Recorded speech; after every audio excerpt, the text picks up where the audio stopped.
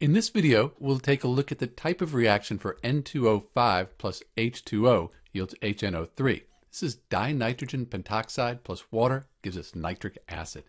So when we look at this, we can see we have two substances combining, coming together into one substance. Because they're combining, we call this a combination reaction. We can look at a table of general types of chemical reactions here is the combination. It's also called synthesis. So we have A plus B gives us AB.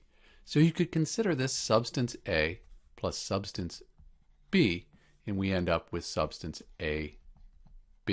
That's a combination or synthesis reaction. If you need help balancing this equation, there's a link at the end of the video and in the description. This is Dr. B with the type of reaction for N2O5 plus H2O. Thanks for watching.